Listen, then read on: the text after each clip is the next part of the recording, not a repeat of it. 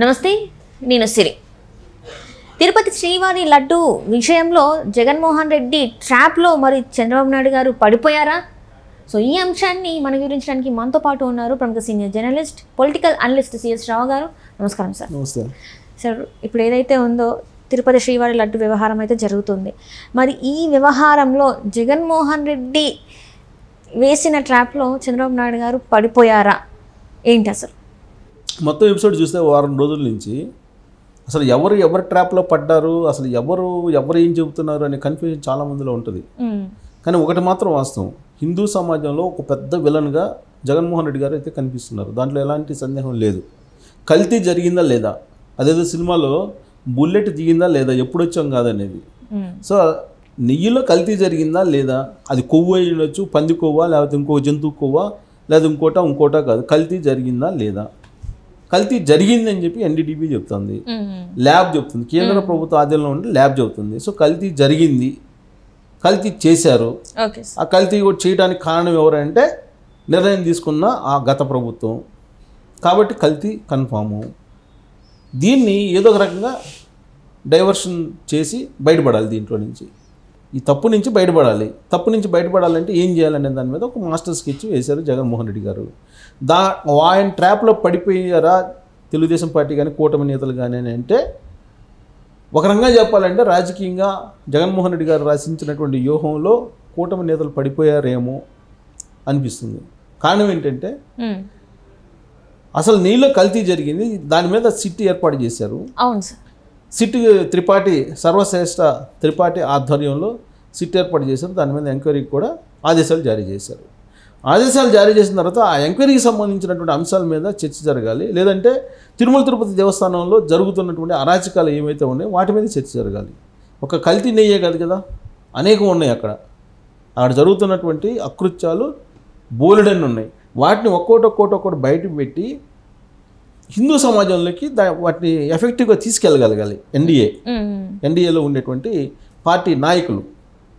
కానీ జగన్మోహన్ రెడ్డి వాళ్ళు ఆ పని చేయకుండా తన ట్రాప్లోకి లాగేసుకున్నాడు వాళ్ళని. ఎలా లాగేసుకున్నాడు? అసలు కల్తీ లేదన్నాడు ఫస్ట్. ఆ తర్వాత ఏంది? కల్తీ ఉన్నా కానీ అది పంది కొవ్వు కాదు అన్నాడు. జంతువులు కొవ్వు కాదు అన్నాడు.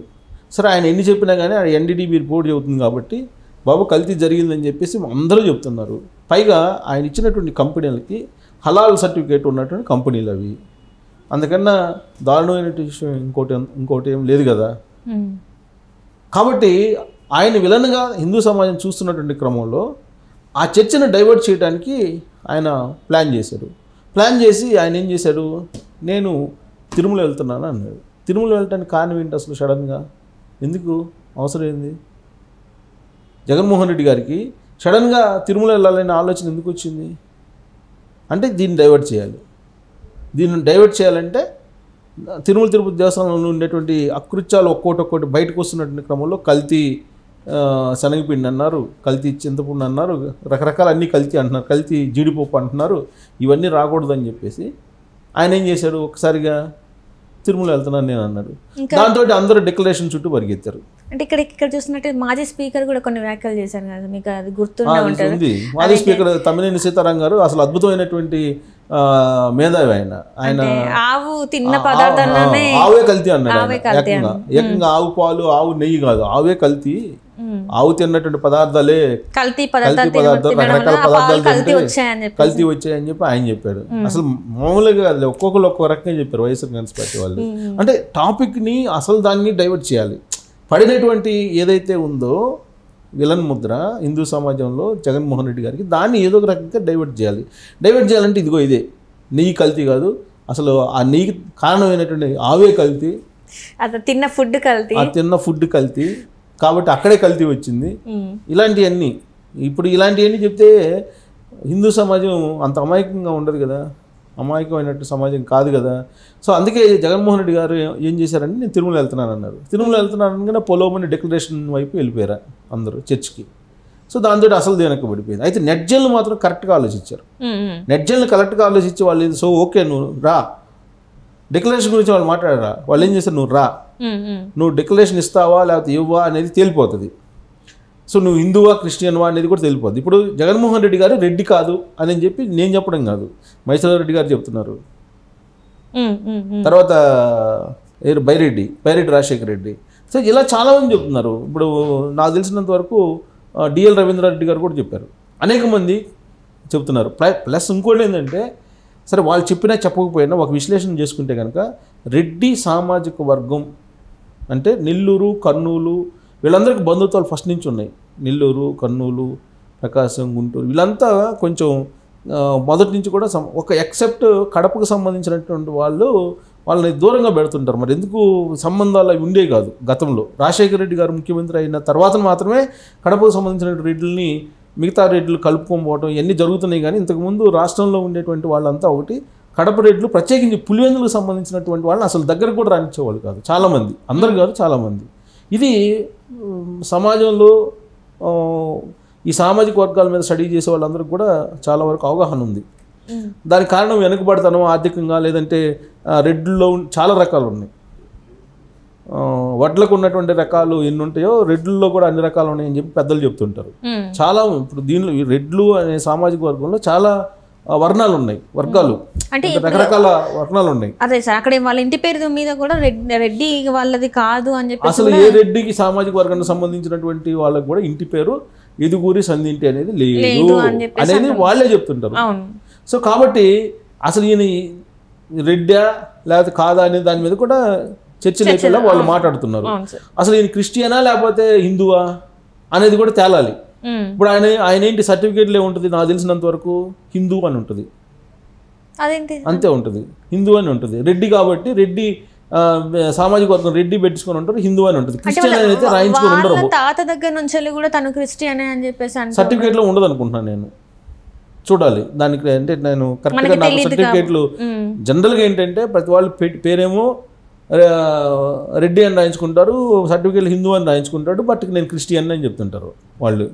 ఇదే అసలు చాలా మంది ఇప్పుడు మన క్రి- క్రిస్టియన్ మతానికి మారినటువంటి వాళ్ళు కూడా. వాళ్ళ సర్టిఫికేట్లు తీసుకుంటే వాళ్ళ సర్టిఫికేట్లు తీసుకుంటే కనుక హిందూ మాల అని ఉంటుంది. బట్ వాళ్ళు క్రిస్టియన్ అంటుంటారు అంటే మాల హిందూ అని ఉంటుంది మాదిగా హిందూ అని ఉంటుంది బట్ క్రిస్టియన్ అని అనుకుంటారు. కొంతమంది మార్పించుకుంటారు కొంతమంది మార్పించుకోరు. ఓకే అది అది అక్కడ పెడితే. ఇప్పుడు జగన్మోహన్ రెడ్డి గారు క్రిస్టియనా హిందువా అనేది చాలా కాలంగా చర్చ జరుగుతుంది. ఆయన ఇలాంటి చర్చ జరిగినప్పుడల్లా కూడా ఏదో ఒక స్వామీజీని పట్టుకొని గోదావరిలో మునటమో కృష్ణాలో మునటమో ఆ, చేస్తున్నారు మళ్ళీ హిందూ అయిపోతాడు. క్రిస్టియన్ కాస్త హిందూ అవుతాడు హిందూ కాస్త క్రిస్టియన్ అయిపోతాడు. క్రిస్టియన్ అయిపోతుంది ఇప్పుడు ఏంటి? ఆయన స్వరూపానందను పట్టుకొని అప్పట్లో గోదావరిలో కృష్ణ పుష్కరాల్లో మునిగాడు. మునిగి ఆయన ఏం చేశాడు? మునకలేసాడు అంతే. సో మునకలేసి ఆయన హిందూ ధర్మాన్ని స్వీకరించాడని ఆయన చెప్తాడు. క్రిస్టియన్ కాదు హిందూ ధర్మాన్ని స్వీకరించాడని ఆయన. ఈయనేమో రాజశేఖర రెడ్డి గారు వర్ధంతి సందర్భంగా ఆడపోయి ప్రార్థనలు చేస్తాడు. ఎక్కడ? చర్చిల్లోనూ. ఆ తర్వాత ఆయన అక్కడ ఉండేటువంటి సమాధి దగ్గర. ఉమ్. పౌరాల గుట్ట ఆ, పౌరాలగుట్ట సహజంగా ఏం చేస్తారు హిందువులు? హిందువులు ఏం చేస్తారు? చనిపోయినటువంటి వాళ్ళ వాళ్ళకి సంబంధించి ఆ, తద్దినాలు పెడతారు పిండాలు పెడతారు. అది సంస్కృతి కూడా కాదనుకుంటే అక్కడ సమాధి దగ్గరికి వెళ్ళి ఆయనకి ఇష్టమైన వంటకాలు చేసి పెడతారు. అది లేదు కదా? హిందూ సాంప్రదాయాన్ని అయితే పాటించట్లేదు కదా. సరే అది అయిపోయింది.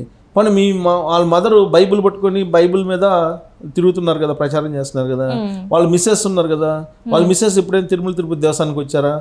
ఈవెన్ బ్రహ్మోత్సవాల్లో పట్టు వస్త్రాలు సమర్పించేటువంటి సమయంలో కూడా మీకు భార్య లేకుండా వెళ్ళారు కదా ఒక్కళ్ళే సింగిల్గా సతీ సమేతంగా వెళ్ళాలనేది ఆగమశాస్త్రం చెప్తుంది కదా. మరి ఎందుకు సింగిల్గా వెళ్ళారు మీరు? హిందూ సాంప్రదాయాన్ని ప్రకారం అయితే సతీ సమేతంగా వెళ్ళాలి కదా అక్కడికి. పోనీ ఏ రోజైనా తలనీలాలు తీయించుకున్నారా? అక్కడ ఇక్కడ వాళ్ళు కూడా అదే క్వశ్చన్ వేస్తున్నారు కదా సార్ ఇప్పుడు చంద్రబాబు నాయుడు గారిని అడుగుతున్నారు మీరు మీరు ఎన్నిసార్లు వెళ్ళారు కదా మరి మరి మీరు తల్లినీళ్ళు ఎందుకు ఇవ్వలేదు అని చెప్పేసి కొడాలి నాని లాంటి వాళ్ళు క్వశ్చన్ చేస్తున్నారు కదా సార్ చేస్తున్నారు. ఇప్పుడు తలనీలాలు ఇస్తారు జనరల్గా. తిరుమల తిరుపతి దేవస్థానానికి వెళ్తే ఇప్పుడు చంద్రబాబు నాయుడు గారు హిందూ సాంప్రదాయాన్ని పాటిస్తున్నారు కదా ఆయన. ఆయన సతీ సమేతంగా వెళ్ళి పట్టు వస్త్రాలు సమర్పిస్తున్నారుగా. పోనీ వాళ్ళు వాళ్ళు మొత్తం పెళ్ళి రోజు కూడా అక్కడికి వెళ్ళి పూజలు చేసుకుంటారుగా.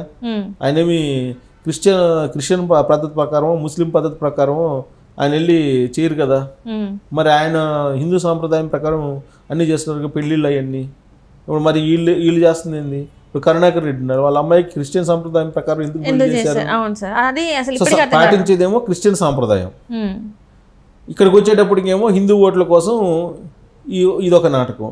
అసలు నిజంగా దేవుడి మీద భక్తి లేదంటే దేవుడి మీద భయం ఉంటే తిరుమల తిరుపతి దేవస్థానం సెట్ వేసుకొని ఇక్కడ వాళ్ళు పూజలు చేపిస్తారా? సంక్రాంతి టైంలో చేశారు టెంపుల్ దగ్గరికి భక్తులు వెళ్తారా? భక్తుల దగ్గరికి టెంపుల్ వస్తుందా.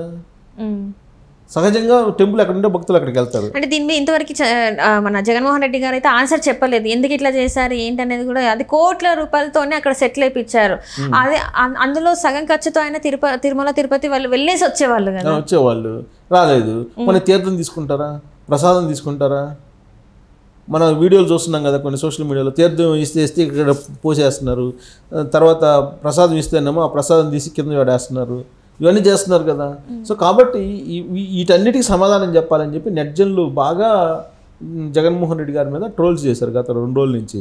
బట్ పార్టీలు మాత్రం బీజేపీ అలాగే తెలుగుదేశం పార్టీ మాత్రం జగన్మోహన్ రెడ్డి గారి ట్రాప్లో పడిపోయాయని చెప్పి చెప్పొచ్చు. Right sir right thank you so much